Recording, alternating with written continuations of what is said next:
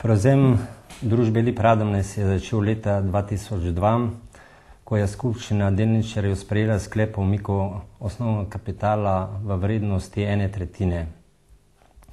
Po umiku tega kapitala 2002 je direktor začel ponovno odkupovati delnice v sklad lastnih delnic s prepričanjem, da to mora kupiti namesto, da bi uporabil načelo, da to lahko kupi. Tako je v obdobju leta 2002 do leta 2006 odkupil 26.500 delnic v sklad lastnih delnic. Zanimivo je to, da je ta nakup v sklad lastnih delnic potekal nezakonito. Delničari niso bili vsi obveščeni o možnosti prodaje svojih delnic.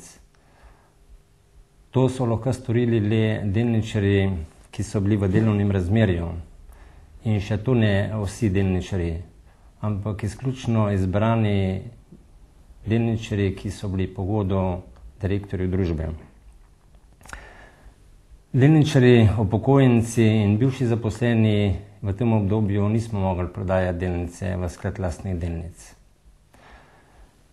Leta 2006, oktobra, smo delničarji, upokojenci in bivši zaposleni prejeli pisno ponudbo za prodajo delnic družbe po ceni en evro šestinštirideset centov. Ta ponudba je bila nadvse zanimiva iz dveh razlogov. Iz prvega razloga, ker je bila ponujena po tako nizki ceni, ker je predstavljalo desetino knjigovodske vrednosti, in drugi razlog, ki smo ga skrivoma dobili, je to, da je direktor za ožjo skupino svojih sodelavcev začel ustanavljati zasebno družbo Rubicon.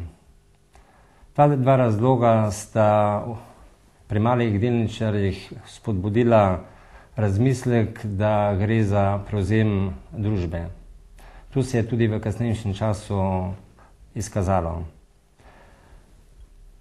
Potem smo mali delničarji stopili skupaj, se v okviru Vseslovenskega združenja malih delničarjev združili v sekcijo Lip Radomlje, ustanovili odbor malih delničarjev in nemudoma sestavili celovito informacijo, ki smo jo posredovali vsem delničarjem Lipa. S to informacijo smo direktorja in njegovo skupino sodelavcev postavili pred dejstvo, da je ponujena cena ena šestinštirideset evra absolutno prenizka, in ga opozorili, da iz takšno ponudbo ne bo uspel prevzeti družbe.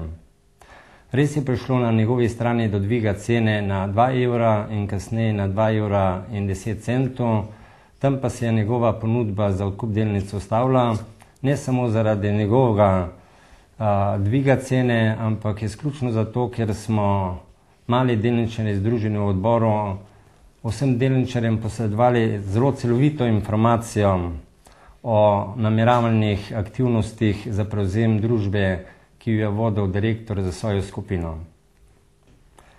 Odbor malih delničarjev je povabil vse delničarje družbe, da se, da pristopijo k delničarskemu sporazumu in da tako združeni ustvarimo pogoje za prodajo delnic v paketu strateškemu partnerju. Po letu dni trdega dela nam je uspelo pridobiti dvesto dvainosemdeset delničarjev, ki so podpisali delničarski sporazum. in skupaj smo imeli združeno cela osem procenta osnovnega kapitala vseh delnic družbe. Oktobra dva tisoč sedem smo začeli skupaj z Vseslovenskim združenjem malih delničarjev iskati strateškega partnerja. Ponudilo se je več potencialnih kupcev, izmed množice smo se odločili za strateškega partnerja Mercator, ki je ponudil najboljše pogoje za odkup in nadaljnji razvoj in poslovanje družbe. Mercator je odbor malih delničarjev prepričala, da iz družbo resno razmišlja v prihodnosti, da zagotavlja program, da zagotavlja delovna mesta da zagotavlja tradicijo, ki jo ima ta družba več kot stoletno in to je tisto, kar je odbor pripričalo, da smo se skupaj z vse slovenskim združenjem malih delničarjev odločili za a, tega kupca. Odbor malih delničarjev je bil izredno zadovoljen, ker je direktor Merkate naredil prve korake a, za direktorjem druž, da, družbe Astom Dvornikom, da tudi v prihodnje lahko sodeluje z njim. Vendar se je to kasneje izkazalo, da je bil vsta trud uh, strani Asta Dvornika uh, pelan dost uh, uh, nekorektno in na zadnji se je izkazalo tudi to, da je direktor družbe svoj delež in vse ostale deleže, ki jih je imel pri svojih povezanih družbah, prodal